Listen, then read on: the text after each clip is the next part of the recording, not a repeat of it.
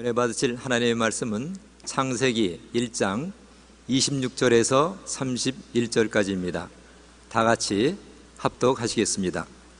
하나님이 이르시되 우리의 형상을 따라 우리의 모양대로 우리가 사람을 만들고 그들로 바다의 물고기와 하늘의 새와 가축과 온 땅과 땅에 기는 모든 것을 다스리게 하자 하시고 하나님이 자기 형상 곧 하나님의 형상대로 사람을 창조하시되 남자와 여자를 창조하시고 하나님이 그들에게 복을 주시며 하나님이 그들에게 이르시되 생육하고 번성하여 땅에 충만하라. 땅을 정복하라. 바다의 물고기와 하늘의 새와 땅에 움직이는 모든 생물을 다스리라 하시니라. 하나님이 이르시되 내가 온 지면에 심에는 모든 채소와 씨 가 진 열매 맺는 모든 나무를 너에게 주노니 너의 먹을 거리가 되리라. 또 땅의 모든 짐승과 하늘의 모든 새와 생명이 있어 땅에 기는 모든 것에게는 내가 모든 푸른 풀을 먹을 거리로 주노라 하시니 그대로 되니라.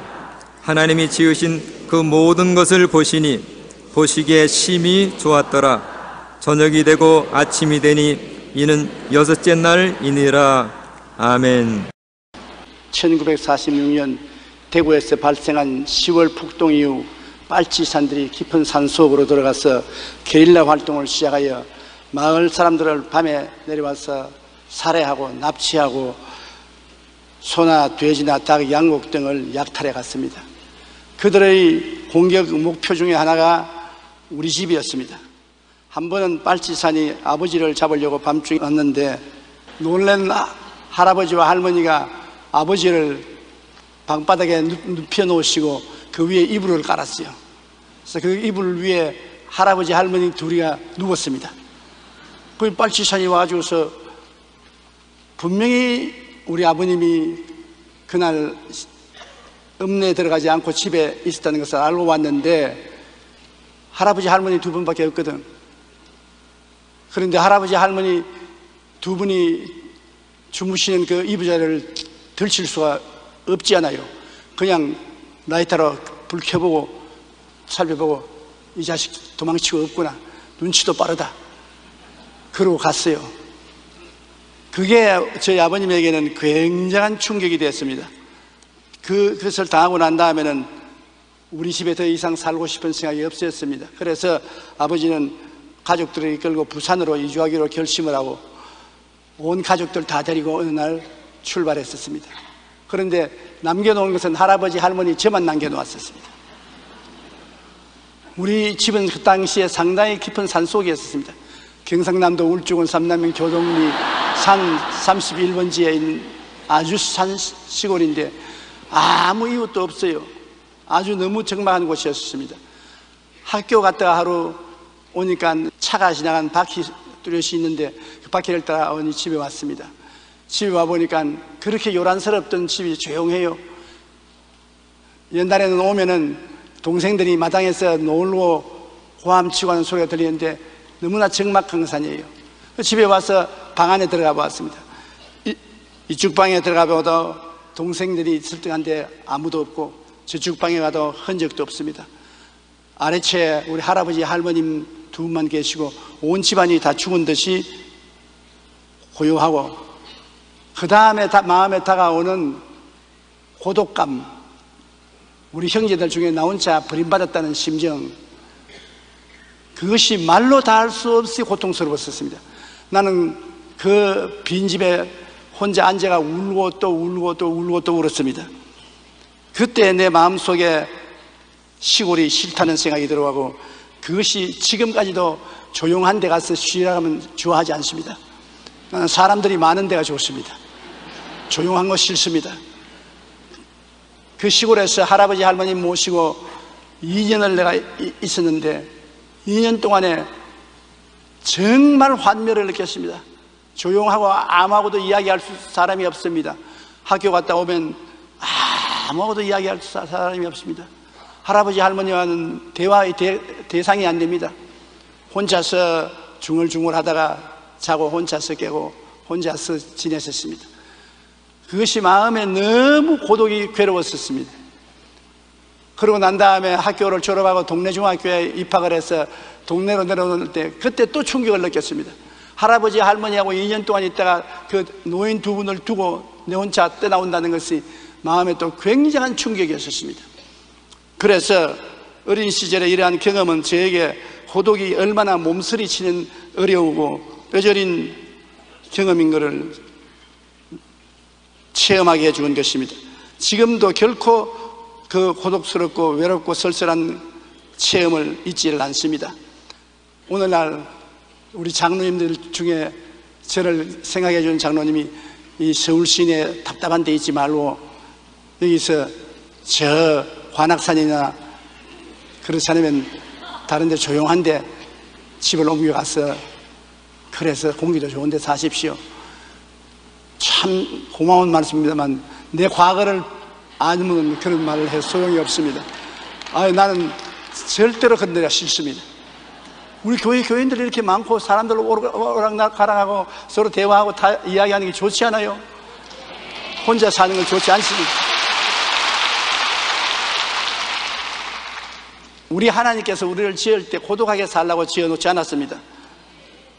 우리 하나님 자체가 고독할래야 고독할 수 없는 영원한 삼위일체 하나님이 있습니다. 성부와 성자와 성령 삼위가 하나가 되는 우리 하나님이 된 것입니다. 다른 하나님은 다 한 하나님이십니다. 고독한 하나님입니다. 고독한 하나님은 사랑이 뭔지 알 수가 없습니다. 사랑이란 주고받는 것이 사랑인데 우리 하나님은 아버지와 아들과 성령 삼위가 한 하나님이 되어 계시기 때문에 사랑을 주고받고 서로 대화가 있었으므로 하나님은 고독하지 않습니다. 우리 하나님은 사랑의 하나님이신 것입니다. 고린도후서 13장 13절에 주 예수 그리스도의 은혜와 하나님의 사랑과 성령의 교통하심이 너희 무리와 함께 있을지어다. 우리 신앙생활에도 예수님의 은혜가 있는가 하면 하나님의 사랑이 있고 성령의 교통이 있고 꼭 삼위일체 하나님이 역사가 느껴지는 것입니다. 마태복음 28장 19절에 너희는 가서 모든 민족을 제자로 삼아 아버지와 아들과 성령의 이름으로 침례를 베풀라고 하는 것입니다. 무엇이든지 아버지와 아들과 성령 삼위 하나님을 모시고 행하라고 하는 것입니다. 삼위 하나님은 일체로서 역사하시기 때문인 것입니다. 그러므로 하나님께서 아담을 지으시고 난 다음 아담이 독취하는 것이 좋지 않다 하시고 그를 깊이 잠재워서 갈비뼈로 하와를 만들었는데 왜 그러냐? 아담을 하나님은 하나님의 형상과 모양대로 지음받았다고 했기 때문에 반드시 하나님처럼 삼위일체의 존재로서 살 수 있도록 만들어 놓으신 것입니다. 아담은 하나님이 아담과 그 아내 하와와 또 그 사이에 태어날 자녀 이 세 분이 모여서 가정이 이루어지지 않습니까? 창세기 2장 18절로 22절에 야외 하나님이 이르시되 사람이 혼자 사는 것이 좋지 아니하니 내가 그를 위하여 돕는 배필을 지으리라 하시니라. 아담이 돕는 배필이 없으므로 야외 하나님이 아담을 깊이 잠들게 하시니 잠들매 그가 그 갈빗대 하나를 취하고 살로 대신 채우시고 야외 하나님이 아담에게서 취하시는 그 갈빗대로 여자를 만드시고 그를 아담에게로 이걸 오시니 그렇게 말했습니다.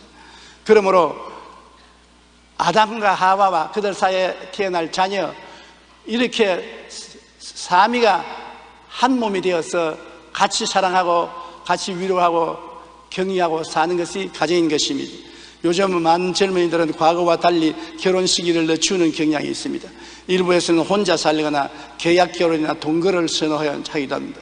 그런데 결혼은 하나님께서 인간에게 정해주신 신성한 제도입니다. 내가 마음대로 해도 좋고 안 해도 좋고 그냥 동거 생활을 마음대로 해도 좋고 그렇지를 않습니다. 결혼 제도가 필요한 첫 번째 이유는 사람은 서로 도움을 주고 받을 배필이 필요하기 때문인 것입니다. 창세기 2장 18절에 하나님은 사람이 혼자 사는 것이 좋지 않다니 라고 말씀하시며 돕는 배필을 지으셨습니다. 둘째로 결혼을 통해 가정에서 자녀를 생산함으로 생육하고 번성하여 땅에 충만하라는 하나님의 명령에 순종하기 위한 것입니다. 셋째 결혼은 사람들이 성적으로 타락하는 것을 즉 보호하여 주시는 것입니다. 특별히 아담의 범죄 이후 타락한 세상에서 성적인 유혹에 빠지지 않고 살아가는 것은 참으로 어려운 일이기 때문인 것입니다.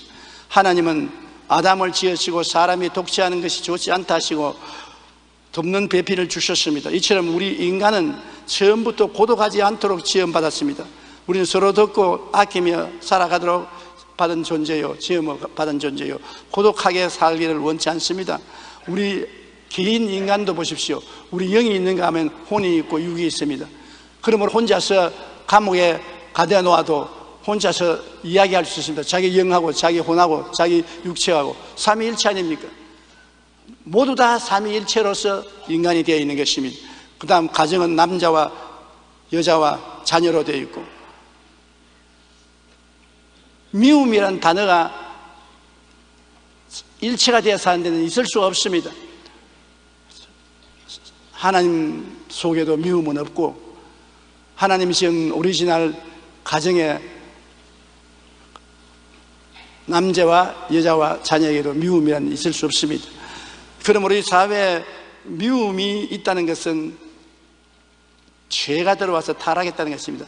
마귀의 유혹에 넘어간 하와가 하나님을 반역하고 아담을 꿰서 하나님을 반역하도록 만들었기 때문에 가정에 죄가 들어오고 죄가 들어오니 하나님과 사람 사이에 원수가 되고 아담과 하와 서로 간에 오해가 있고 미움이 있고 그리고 자녀들 간에도 미움이 있어 가인과 아벨 사이에 경쟁이 있어 가인이 아벨을 죽이는 비극이 생겨난 것입니다.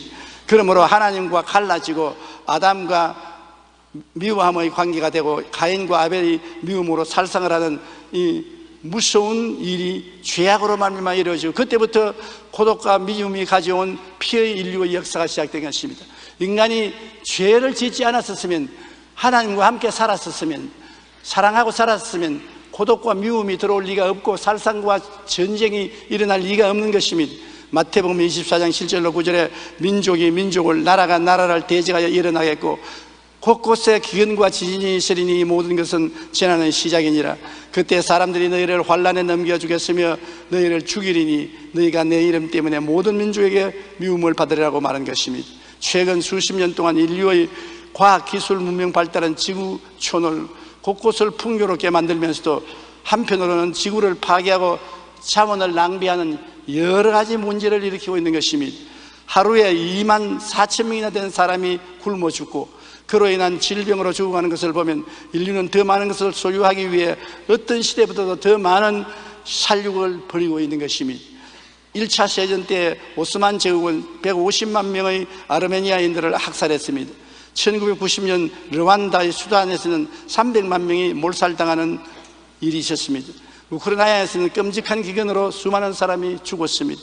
독일의 아우스비케는 수백만의 유대인이 사라졌고 난, 난징의 대학살 미얀마 철도 공사장에서 죽어간 전쟁 포로들, 캄보디아의 킹필드, 유고슬라비아와 방글라데시의 대살육 사건은 지난 100년 동안에 지구상에서 전쟁과 집단 학살 등으로 약 2억 명이나 되는 사람이 죽었습니다.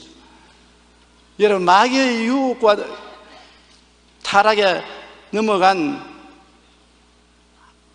아담, 아담과 하와가 하나님과 멀어지고 하나님의 사랑과 멀어지고 미워하게 되고 서로 멀어지게 되자 그것이 우리에게 다가온 해가 얼마나 크다는 것을 알 수 있는 것입니다. 하나님 계시지 않고 죄가 우리 마음을 점령하고 마귀가 우리를 점령했으면 그것은 언제고 미움과 오해로 변화되고 그것이 악화되면 살상으로 변화되고 마는 것입니다. 가인이 아벨을 죽인 이후로 그 악은 우리 인류 속에 팽배해 있는 것입니다. 이러기 때문에 우리의 삶이 어느 곳에 가도 외로움과 고독함이 있습니다. 부부와 결혼을 해도 그 무엇이 모르게 마음에 통하지 않는 외로움과 고독이 있고 부모와 자식 간에도 대화가 안 되는 괴로움과 고독이 있습니다. 형제간은 좀 더 더하지요. 그리고 이웃 간은 서로 웃지만은 속으로 진실로 서로 이해하고 통하지 않습니다. 그렇기 때문에 우리는 다 고독합니다. 고독하지 않은 사람 아무도 없습니다. 나만 고독하고 너는 고독하지 않다. 그러지 않습니다. 고독함을 나는 더 많이 느끼고 너는 덜 느끼는지 모르겠습니다. 더 많은 고독을 당하고 덜 고독을 당할지 모르겠습니다. 그러나 모두 다 고독한 것입니다. 죄와 미움이 있는 세상에 고독은 항상 있는 것입니다. 여러분, 우리가 이 세상에서 나는 저 사람을 좋아한다. 난 저 사람을 좋아하기 때문에 고독하지 않다 이런 말을 하는 사람이 있는데 고양이는 쥐를 굉장히 좋아합니다. 그러나 고양이가 쥐를 사랑한 적은 없습니다. 왜냐하면 쥐는 잡아먹으니까 좋지. 사랑은 절대로 안 합니다. 이것이 오늘날 우리 사람들의 현실인 것입니다. 우리가 서로 좋아해서 결혼했다고 해도 좋아하는 것은 사랑하는 것은 아닙니다. 좋아하는 것은 내게 필요하고 내게 도움이 되니까 그 사람을 좋아하는 것입니다. 사랑이란 내가 손해가 나고 내게 좋지 않고 괴로워도 나를 희생하며 그를 도와주고 나가는 것이 사랑인 것입니다. 그 부모님이 자식을 사랑하는 것은 좋아하는 것이 아니고 사랑하는 것입니다. 자식을 위해서 부모는 모든 것을 희생하고 모든 것을 다 주고 그러고도 만족하지 않습니다. 사랑하기 때문에 그런 것입니다. 그러나 남편이 아내를 좋아한다고 해도 사랑하지 않는 남편이 많고 남편을 좋아해도 사랑하지 않는 아내가 많이 있는 것입니다. 그러므로 죄와 미움이 있는 세상에 고독은 항상 있고 우리가 사랑하려고 애를 많이 쓰지만은 사랑하지 않고 좋아하기는 해도 사랑이 되기가 힘이 드는 것입니다. 채울 수 없는 마음의 공간이 마음속에 언제나 있어요. 좋은 집에 살고 좋은 옷을 입고 호의호식해도 마음에 공허가 언제나 있습니다. 전도서 1장 8절에 눈은 보아도 조감이 없고 그는 들어도 가득 차지 않는다고 말하는 것입니다. 그러므로 사랑이 없을 때 우리 마음속에 절망하는 것입니다. 살아가는 동안에 아무런 사랑도 우리 마음속에 없으면 우리가 무명한 인간들로부터 사랑이 빼앗기고 단지 좋아함을 들어앉혀 고독을 주어 몸부림치게 만드는 현실 세계 속에 살고 있는 것입니다. 고독은 현대 사회에서 가장 무서운 병 중의 하나입니다. 미국 캔사스 지방의 신문에 이런 광고가 실린 적이 있습니다. 그냥 듣기만 할 테니까 전화 걸어 주신 분에게 30분간 얘기하여 주시면 5불 드리겠습니다. 얼마나 고독하기 때문에 나에게 30분만 전화해서 일방적으로 이야기만 해주면 돈 5불 드리겠다는 것입니다. 죄와 미움이 있는 이 세상에 고독은 항상 있습니다. 외로움과 고독이 얼마나 힘들고 괴로웠던지 이런 광고까지 나오게 되었을까요? 우리는 대부분 사람들은 삶 가운데 이러한 고독을 느끼며 쓸쓸하게 살아가고 있습니다. 그리고 자신의 삶이 매우 의미 있다는 사실을 증명해 보이려고 더욱 과도하게 움직입니다. 그러나 이것은 마음의 공허를 바쁨으로 덮어보려고 위장하는 행동일 뿐인 것입니다. 우리는 누구나 그 무엇으로 채울 수 없는 마음의 공간을 가지고 있습니다. 우리의 삶에 목적이 뚜렷이 없을 때는 채울 수 없는 마음의 공간은 그만큼 더 커집니다. 사람들은 이러한 마음의 공간을 채워보려고 동분서주하지만 인간의 힘으로는 결코 채울 수가 없습니다. 헤르만 헤세는 인생은 고독 그것이다. 왜냐하면 인생은 남을 잘 모르기 때문이다. 테레사 수녀는 자기를 좋아하는 사람도 필요로 하는 사람도 없다고 느낄 때 오는 고독감은 가난 중에 가난이다. 프랜시스 베이커는 최악, 최악의 고독이란 한 사람의 칭후도 없다는 것이라고 말하는 것입니다. 이 세상에 우리만 고독한 것이 아니라 하나님의 아들 예수님도 굉장히 고독했습니다. 왜냐하면 완전한 하나님이 완전한 사람이 되어 오셨으니까 하나님과 사람이 차별이 얼마나 있습니까? 여러분, 어른과 어린아이가 차별이 있는데 하물며 하나님과 인간이 얼마나 차별이 있으며 완전한 하나님의 죄투성인 인간과의 차별이 얼마나 있습니까? 그러므로 주님은 결코 이 세상에 오셔서 죄인들과 전적인 대화가 되지 않았었습니다. 언제나 그곳에는 하나님과 사람이라는 차별이 있었으며 완전히 죄 없는 부분과 죄인 인간과의 차별이 있는 것입니다. 그러므로 사람이 되신 하나님과 인간과의 건널 수 없는 다리가 있고 멸시와 천대를 받는 삶을 살았습니다. 사람들에게 이해와 동정을 받지 못했습니다. 이사야 53장 상절에 그는 멸시를 받아 사람들에게 버림받았으며 강고를 많이 겪었으며 질고를 아는 자라 마치 사람들이 그에게서 얼굴을 가리는 것 같이 멸시를 당하였고 우리도 그를 귀히 여기지 아니하였도다. 사람들과 제자들의 버림 속에 나중에는 십자가에 못 박여 혼자 몸부림쳤습니다. 얼마나 그 마음의 외로움이 심했기 때문에 십자가에서 고통당할 때, 아, 목마르다. 그렇게 외쳤습니다. 물이 없어 목마른 게 아니라 외로움에 목말랐던 것입니다. 요한복음 19장 28절로 29절에 그 후에 예수께서 모든 일이 이미 이루어진 줄 아시고 성경을 응하게 하리 하사 이르시되 내가 목마르다 하시니 그게 신포도주가 가득히 담긴 그릇이 있는지라 사람들이 신포도주 적신 해면을 입- 웃을 죄며 예수의 입에 되었다고 말한 것입니다 그러므로 이 세상에 사는 사람들은 모두 다 고독하기 때문에 우리는 이 고독을 극복하고 살아야 되는 것입니다. 고독함이 있을 동안에는 행복이 없습니다. 우리는 위장하고 사는 것입니다.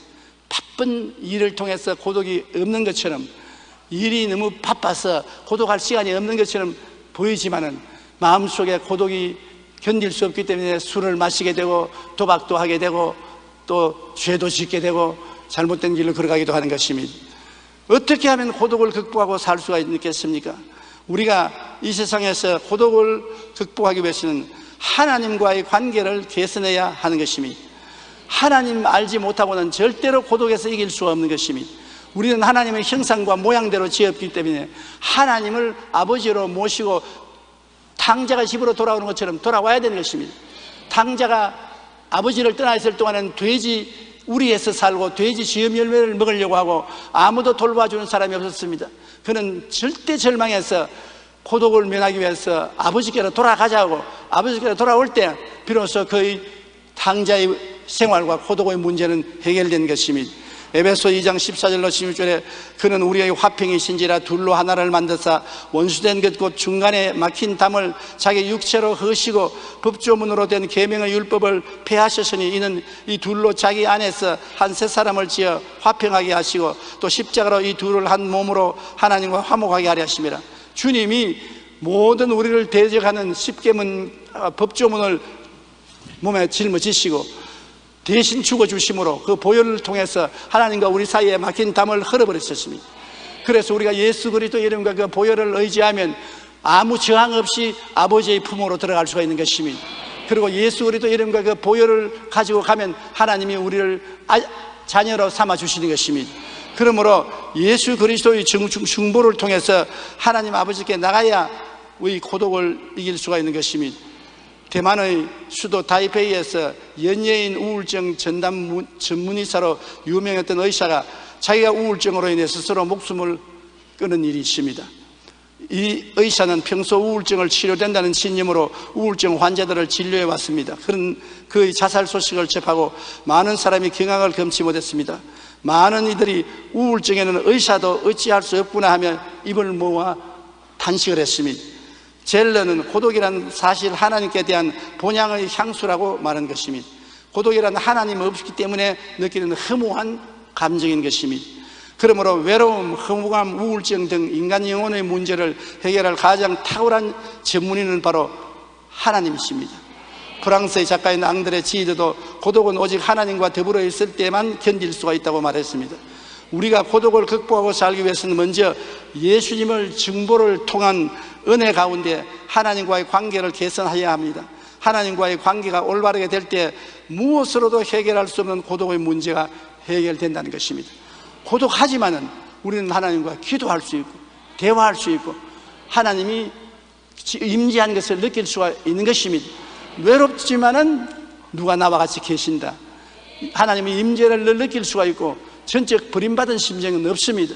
예수님 안에서 나는 이래봬도 하나님의 자녀요. 하나님이 나를 사랑하시고 계시고 내가 하나님을 사랑한다는 확신을 가지고 살아갈 수 있는 것입니다. 그리고 고독에서 벗어나기 위해서는 자기를 겸손하게 낮춰야 되는 것입니다. 자기를 높이면 고독하게 될 수밖에 없습니다. 사람들이 기피하기 때문인 것입니다. 마태복음 23장 12절에 누구든지 자기를 높이는 자는 낮아지고 누구든지 자기를 낮추는 자는 높아지리라고 말하는 것입니다. 베드로전서 5장 5절로 6절에 하나님은 교만한 자를 대적하시되 겸손한 자들에게는 은혜를 주시느니라. 그러므로 하나님의 능하신 손 아래서 겸손하라. 때가 되면 너희를 높이시리라. 스스로 낮추고 섬기는 자리에 있으면 사람들이 존경하고 대화를 하고 따라옵니다. 그러나 나를 섬기라고 목을 치들고 어깨에 힘을 주면은 사람들이 그를 두려워하고 싫어하고 기피하고 어찌할 수 없이 고독한 삶을 살 수밖에 없는 것입니다. 디엘 무디는 이런 유명한 말을 했습니다. 한 사람의 일- 인생을 평가할 때 그가 얼마나 많은 것을 거느리고 살았느냐 하는 것은 중요한 것이 아니다. 중요한 것은 그가 얼마나 많은 사람에게 종로로서 했느냐이다. 참다운 삶은 이렇게 겸손한 마음으로 남을 섬기고 남을 받아들이는 삶을 살 때 참된 삶을 사는 것입니다. 우리가 고독을 극복하고 더욱 기쁨과 행복이 넘치는 삶을 살기 위해서는 먼저 겸손히 자기를 낮추고 이웃을 높여주고 존경해주는 거, 섬겨주는 것입니다. 용서와 사랑으로 우리가 가진 것을 나누고 베풀며 섬기는 삶을 살 때 고독은 자동적으로 물러가고 마는 것입니다. 그 다음 용서와 사랑으로 이웃과 함께 해야 되는 것입니다. 저는 인- 은퇴하기 전에 목회할 때 신방을 많이 했습니다. 병원 신방, 시- 수용소 같은 데 신방을 많이 했는데 제가 굉장히 마음에 고통을 느낀 것은 병이 깊어서 의사들이 치료하지 못하게 될 때, 절망적이 되었을 때, 절대적인 고독에 처한 사람들이 많더라는 것입니다. 그래서 이 사람들을 도와줘야 되겠다. 죽는 것은 의사도 알고 가족도 알고 자기도 알지만은 이제 죽는다고 내버려졌기 때문에 그 혼자서 고독은 말로 다 할 수 없습니다. 누가 와서 대화를 해주고 용기와 힘이 되어주면 얼마나 큰 위로와 도움이 되는지 모릅니다. 그래서 우리 교회에 제가 호스피스를 만들었습니다. 호스피스 자원 봉사자들을 모으고 호스피스를 만들어 가지고서 말기암 환자들, 죽음에 이르는 병에 걸린 사람들, 좌절과 절대 절망이 있는 사람들을 가서 대화를 해주는 것입니다. 못 고쳐줘도 좋습니다. 죽는 것 알아요. 그러나 대화를 해줌으로 말미암아 절대 고독에서 면할 수 있도록 도와주려고 애를 썼습니다. 그리고 사랑과 행복 나누기 운동도 그와 꼭 강화진 것입니다. 이 세상에 가난하고 괴롭고 고통스러운 사람 조금 전에 우리가 여기 여러분 비디오에서도 봤지만은 우리가 도와줌으로 큰 운명이나 팔자가 바뀌어지는 건 아닙니다. 집을 고쳐주고 쌀을 갖다 주고 학비를 좀 대주고 병원비를 좀 대주는 것 정도밖에 안 되고 팔자를 고치는 것이 아닙니다. 그러나 그 사람이 누군가 나를 우리를 사랑해 주고 있다. 우리를 버리지 않았다.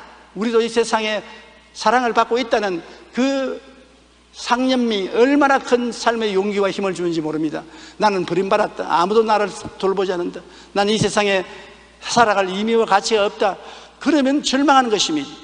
그러므로 사랑과 행복 나누기 운동은 우리가 크게 물질적인 도움은 안 되지만은 그 도우는 행위를 통해서 사람들을 사랑하고 있다. 자기들이 사랑받고 있다는 것을 깨닫게 해주는 것입니다. 굿피부를 통해서 제3세계 어려운 사람들을 도와주고 있는 것도 제가 해외 여행을 다니면서 부흥회를 할 때 3세계에 많이 갔습니다. 아프리카, 동남아 일대, 남아메리카에 가보면 3세계에 사는 사람들이 너무나 못 사는 사람들이 많아요. 옛날에 6.25 이후에 우리가 못 사는 그와 똑같이 못 살고 고통을 당하는데 우리는 그때 옛날에 6.25 때 미국 사람들이 갖다 주는 강냉이 가루, 밀가루, 입던 옷들, 입던 신발들 그걸 받아 누렸습니다. 저도 그것을 많이 받았습니다. 신발도 받고 꿀꿀이 죽도 먹었는데 꿀꿀이 죽을 먹을 때도 그때 얼마나 고맙던지 몰라요. 다 떨어진 군화를 받았는데 내 발 하나 들어가고 반 개 더 들어가는 군화를 신고 끌, 끌고 다녀도 고맙고 감사했습니다. 그리고 그들이 입다가 내버린 의복 추울 때 그것이 얼마나 도움이 되는지 몰라요. 그것이 마음에 잊지 못했습니다. 요사이 보면은 그건 아무것도 아니지요. 그러나 우리를 사랑해 주고 있다. 우리는 버림받지 않았다. 이래도 사람들은 우리를 도와주려고 한다. 그러한 생각에 용기가 굉장히 났었습니다. 그래서 제가 해외 굿피불이라는 단체를 만들어서 가난하고 헐벗고 굶주리고 버림받고 생각하는 사람에게 우리 한국 사람들의 뜻떠한 사랑을 나누어 주면 좋겠다. 그래서 시작한 것이 굿피불입니다. 벌써 굿피불은 동남아 일대 굉장히 많은 일을 하고 수많은 사람에게 용기와 힘을 주고 있는 것입니다.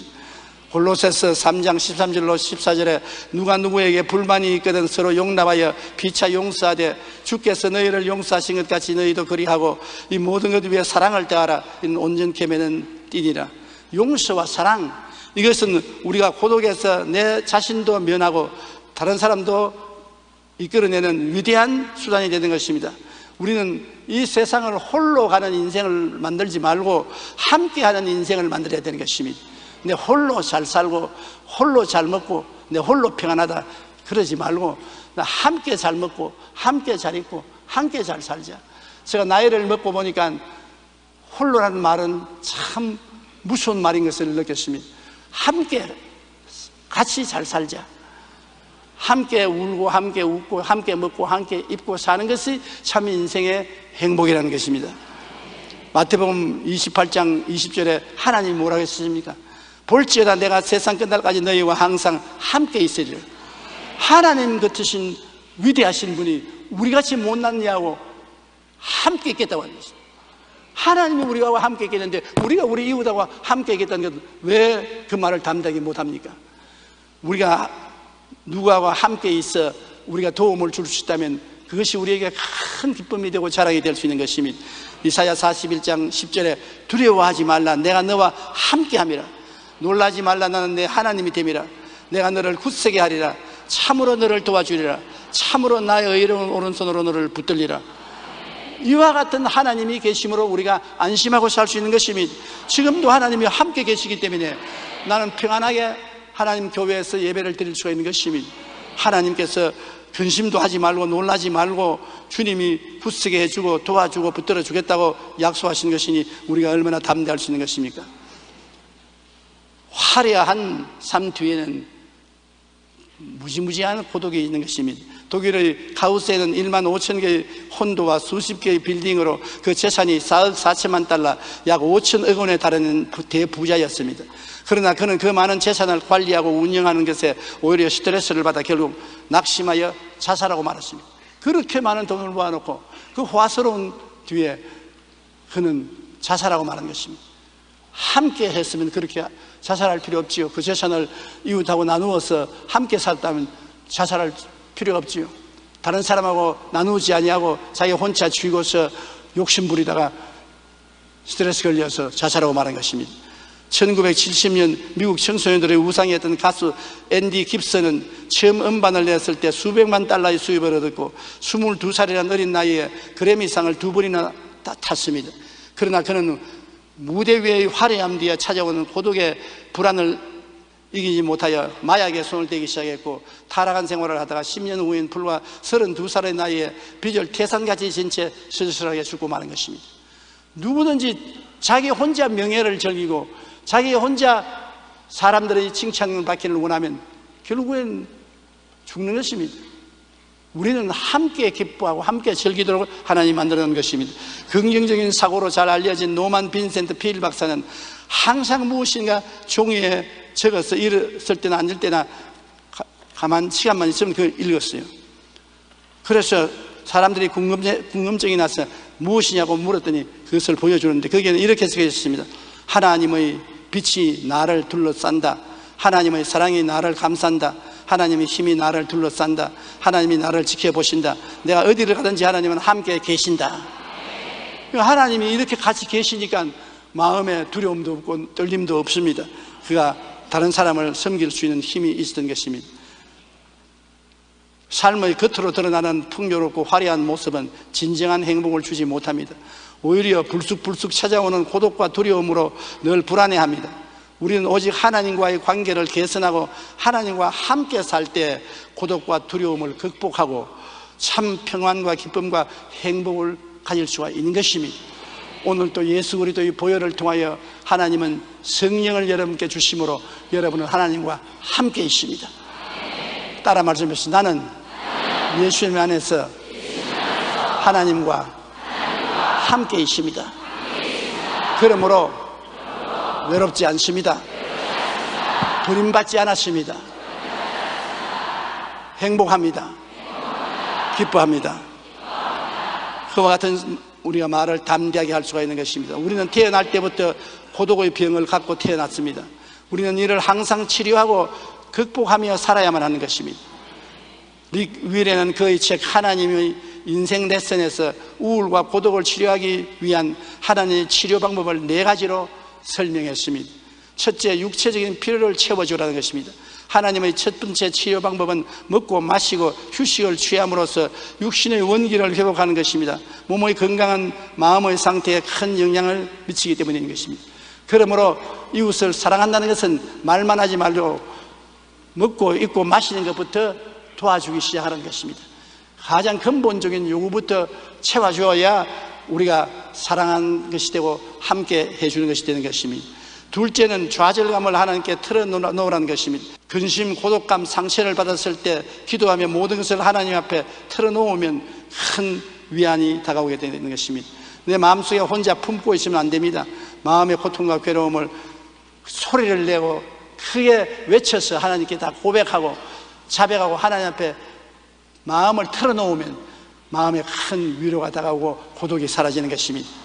셋째 하나님을 새롭게 깨달은 것입니다. 슬럼프를 이기는 데는 하나님과 대화하고 교제를 나누는 것보다 좋은 일이 없습니다. 모든 일이 안 될 때라도 하나님께 대화하고 하나님 찾고 하나님과 같이 있으므로 하나님의 아이디어를 얻을 때 우리가 외로움에서 벗어날 수 있는 것입니다. 넷째는 인생의 새로운 방향을 구하는 것입니다. 하나님께서 우리의 인생을 새로운 방향으로 인도하시게 하시되 사랑으로 이웃과 함께하는 인생의 계획을 세우는 것입니다. 더 많은 시간을 봉사하고 헌신하고 이웃을 사랑하는 삶을 살면은 고독에서 벗어날 수 있는 것입니다. 우리는 누구나 우리 스스로 해결하지 못하는 고독의 병을 갖고 있습니다. 그러나 하나님께서는 우리의 삶이 고독 속에 끝나기를 결코 원치 않습니다. 하나님은 우리가 항상 사랑과 희락과 화평과 오래 참음과 자비와 양성과 충성과 온유와 같은 성령의 은혜 가운데서 살기를 원하시는 것입니다. 어느 곳에 가든지 여러분 마음에 평안하고 기쁘고 환영받고 살아있을 의미가 있다고 생각하면서 살기를 원하시는 것입니다. 하나님은 여러분 영혼이 잘됨 같이 범사에 잘되며 강건하고 생명을 얻되 풍성히 얻기를 원하시는 것입니다. 그러므로 여러분 힘으로 안 되니까 예수님이 세상에 오셔서 여러분의 죄 나의 죄, 여러분의 죄주 나의 죄주, 여러분의 죽음 나의 죄주를 대신 짊어지시고 십자가에 몸짓고 피 흘려 한없는 고통을 당하고 참고 그, 그를 통해서 피로써 청산하고 오늘날 우리에게 손을 활짝 내밀고 수고하고 짐인 자들은 다 내게로 오라. 내가 너희를 편히 쉬게 하리라. 볼지어다 세상 끝날까지 항상 너와 함께 하리라고 말씀하신 것입니다 우리 집이 화려하다고 주님이 와서 같이 계신 것이 아닙니다. 우리 집이 판자집이라고 주님이 안 오시는 것도 아닌 것입니다 화려하든 판자집이든 그것은 큰 문제가 아닙니다. 주님이 중요하게 여기는 것은 여러분을 중요하게 여기는 것입니다. 여러분의 심령을 중요하게 여기는 것입니다 여러분의 심령을 구원하시고 여러분의 심령에 같이 계시기를 원하는 것입니다. 그래서 여러분의 힘이 되어주고 기쁨이 되어주고 능력이 되어주기를 원하시는 것입니다. 이렇기 때문에 여러분 우리는 항상 고독할 때마다 고독을 극복하기 위해서 이 땅에 오셔서 십자가에 죽었다가 부활하셔서 우리에게 하나님의 자녀가 되게 하시고 하나님과 함께 살게 하시고 이웃에게 사랑과 은혜를 나누어 줄 수 있는 사람이 되게 만들어 주신 우리 자신을 생각하고 늘 감사하는 여러분 되시기를 주님 이름으로 축원합니다. 우리 기도드리겠습니다. 사랑이 많으시고 거룩하신 아버지 하나님, 우리는 누구든지 이 땅에 태어났으면 다 고독하고 외로움을 느낍니다. 이 고독과 외로움을 이길 수 있는 유일한 길은 하나님을 찾아 하나님 품에 안기고 하나님의 사랑이 가슴에 부은 바 될 때 참 사랑과 행복을 느낄 수가 있습니다. 나 혼자만 외롭고 고독하지 않습니다. 모두 다 차이는 있어도 다 고독하고 외로운데 우리가 그들에게 도움이 될 수 있게 도와주시옵소서. 하나님 아버지 우리가 예수 안에서 위로를 받고 평안을 얻고 그 위로와 평안을 가지고 이웃을 위해서 기도해드리고 도와주리고 격려해드리고 사랑을 해드리고 화해를 화평을 갖다 줄 수 있도록 도와주시옵소서. 예수님 이름으로 기도드립니다. 아멘.